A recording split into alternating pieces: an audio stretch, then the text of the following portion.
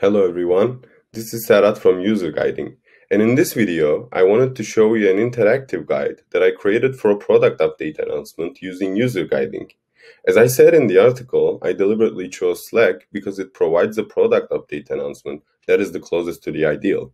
Now before I begin, I'd like to show you a couple of product update announcement examples from Slack.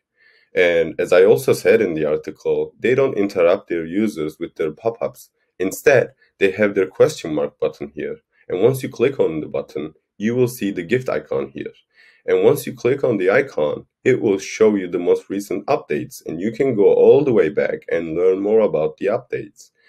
Just for an example, I will just click on this one and show you how they share the information about their product update. What's good here is that they have this footage here which shows you how you can make use of the new product update. And what's good in this is that they help you visualize it and learn how you can make uh, make it easier for you to use it.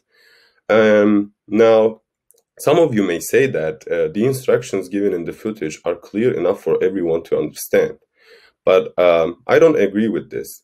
When you tell people that something is very easy to do and they can't do it, it discourages them. So they have this uh, sort of frustration in them that makes them quit. So they quit before even trying to learn how they can make use of your new product update. So the idea here is to make it much more simple for people to make use of it. And this is why we have UserGuiding. I will show you my guide that I created for a up for an update.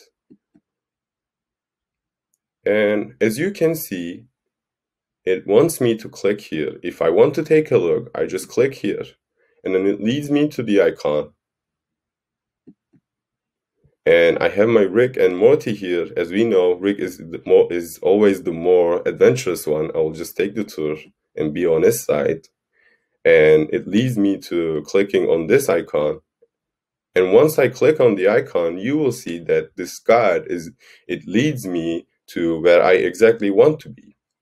So this is it. Like this is how you can make it uh, much easier and more efficient for your users. Um, I hope this video was helpful for you and thanks for watching.